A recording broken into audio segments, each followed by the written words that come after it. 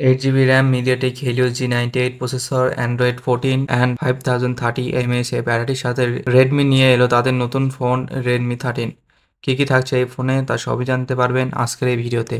আনবক্সিংয়ের শুরুতেই থাকছে user manuals SIM tray ejector soft plastic back case type C charging cable thirty three ওয়ার্ডের fast charger আর এই ফোনটি রেডমি থার্টিন ফোনটি রেডমি চারটি কালারে লঞ্চ করেছে। একটি হলো midnight black sandy gold pearl pink আর ocean blue IP fifty three protection rating আর অপারেটিং সিস্টেম হিসেবে থাকছে HyperOS based on Android fourteen UI অনেকটা স্মুথ কাজ করছিল, কোনো ল্যাগিং আমরা দেখতে পাইনি অনেকটা হেভি ইউজ এর পরেও। ফোনের ডিজাইনের কথা বললে রাইট সাইডে থাকছে ভলিউম বাটন পাওয়ার বাটন এবং পাওয়ার বাটনটি সাইড মাউন্টেড ফিঙ্গারপ্রিন্ট সেন্সর হিসেবে কাজ করে। আর ফিঙ্গারপ্রিন্ট সেন্সরটি টাচ করার সাথে সাথেই কাজ করছিল। লেফট সাইডে ছিল সিম ট্রে ফোনের অপর অংশে ছিল হেডফোন পোর্ট আর আই আর ব্লাস্টার নিচে ছিল primary mic type C USB port main speaker ফোনটির ওজন দুইশো পাঁচ গ্রাম। পুরো ব্যাক প্যানেল পলি কার্বনেট এর তৈরি। আর উপরে গ্লাসের প্রোটেকশন দেওয়া হয়েছে আর ডিসপ্লেতেও গ্লাসের প্রোটেকশন দেওয়া হয়েছে।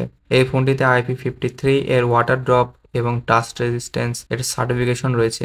Six point seven nine inch এর ডিসপ্লে সাইজ সহ এর থিকনেস হলো এইট পয়েন্ট থ্রি মিলিমিটার ফোনটি বেশ বড়সড় হওয়ার কারণে সিঙ্গেল হ্যান্ডে ইউজ করা না গেলেও দুই হাতে বেশ কমফোর্টেবল হিসেবে ইউজ করা যায়। সাউন্ডের পারফরমেন্স আমাদের কাছে ঠিকঠাকই লেগেছে। এই ফোনটিতে ডুয়াল স্পিকার রয়েছে, যা মোটামুটি ভালো সাউন্ড কোয়ালিটি দিচ্ছিল। এই ফোনটিতে নয়েজ ক্যান্সেলেশন মাইক নাই। এই ফোনে ছিল পাঁচ হাজার তিরিশ এমএইচ এর ব্যাটারি, আর বক্সে ছিল থার্টি থ্রি ওয়ার্ডের fast charger phone normal day to day ইউজে একদিন এর মতো ব্যাটারি ব্যাকআপ পাওয়া যাবে, আর হেভি ইউজে চার ঘণ্টা এর মতো ব্যাটারি ব্যাকআপ পাওয়া যাবে। ফোনটি যখন হেভি ইউজ করা হয়, তখন ভালোই হিট হয়। প্রসেসর হিসেবে থাকছে MediaTek Helio G ninety one ultra যা একটি অক্টাকর প্রসেসর যেটি টুয়েলভ ন্যানোমিটারের ডিসপ্লের কথা বলতে গেলে হেড ডিসপ্লে ছিল সিক্স পয়েন্ট সেভেন নাইন ইঞ্চের নাইনটি হাজ এর refresh rate IPS LCD panel display resolution twelve sixty by thousand eighty pixel এর চার colour saturation eighty three percent আর পিক্সেল ডেন্সিটি তিনশো ছিয়ানব্বই পিপিআই এর পিক ব্রাইটনেস ছিল পাঁচশো পঞ্চাশ নিটস যা খুবই কম। যা ইনডোরে ভালো পারফরমেন্স দিলেও আউটডোরে রোদের ভিতর অনেকটাই স্ট্রাগল করছিল। আমরা এতে পাবজি রান করেছি, মোটামুটি এইচডি গ্রাফিক্সে হাই ফ্রেম রেটে খেলা যায়। কিন্তু ব্যালেন্সে আলট্রা ফ্রেম রেটে স্মুথ রান করছিল। ফোনটিতে অনেকক্ষণ গেমিংয়ের সময় কিছুটা ল্যাগ দেখতে পেয়েছি, যা এই প্রাইস রেঞ্জে কমন।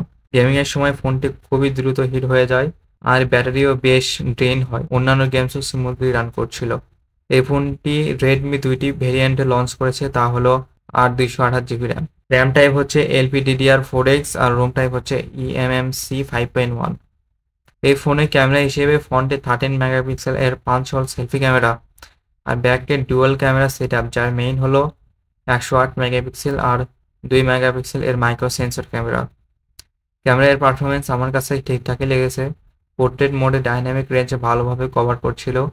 ফেস ডিটেকশনও ভালোই কাজ করছিল। ভিডিও রেকর্ডিং এর ক্ষেত্রে thousand eighty P thirty eight এফপিএসে recording করা যায়। ভিডিও কোয়ালিটির কথা বললে কোয়ালিটি ছিল অ্যাজ ইউজুয়াল এই প্রাইস রেঞ্জে যা আশা করা যায় না। ফোর কে ভিডিও রেকর্ডিং থাকা উচিত ছিল।